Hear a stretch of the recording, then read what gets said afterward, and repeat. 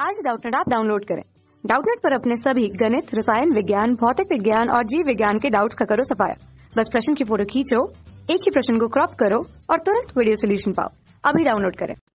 Hello प्रश्न यहाँ पर, कैल्सी फ्यूजेज, इनमें वृद्धि करने वाले पौधे, यानी कैल्सीफ्यूजेज जो पौधा है, ये कहाँ वृद्धि करता है? तो चलिए देखते हैं। कैल्सीफ्यूजेज एक प्रकार का ये पादप है, पौधा है। तो ये कहाँ वृद्धि करता है? ये चार ऑप्शन है।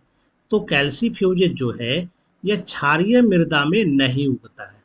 अगर मिट्टी क्षारीय है तो ये क्या होगा? क्षारीय मृदा में यह नहीं उगता है।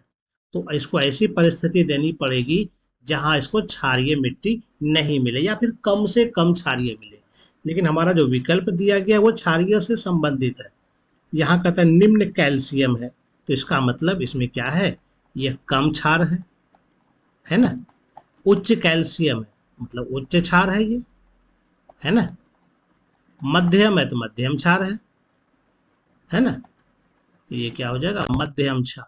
ये इनमें से कोई नहीं, खत्म हो गया।